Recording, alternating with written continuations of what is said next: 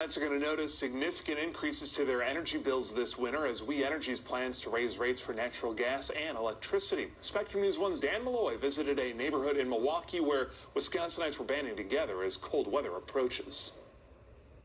Walnut Way, a group of neighborhood advocates just north of downtown Milwaukee, wants to change the way Wisconsin regulates its utilities.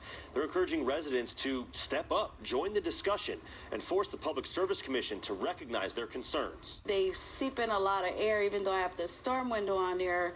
It was mild on Monday, but Maria Beltran will be winterizing her windows soon enough. We would always put the plastic that they sell in the stores where you blow dry and the the plastic sticks to the frame of it and the, it keeps out the wind. Beltran's house in the historic Lindsay Heights neighborhood is 113 years old.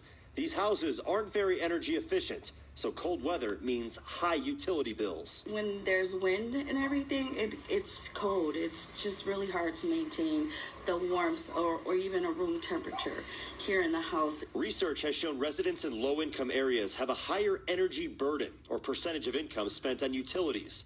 Walnut Way Executive Director Antonio Butts says the $14 average monthly increase proposed by We Energies hits communities like Lindsay Heights much harder than a wealthy suburb. It just begs more thoughtful analysis in a way that, that says, how did we arrive at this? And, but then also, what are the unintended consequences of these prices? And how do we address that as well? Butts says Walnut Way has encouraged neighbors to participate in the regulatory process, making public comments and rallying for fair energy pricing. Equity is important, and because it's a civic engagement in the public process.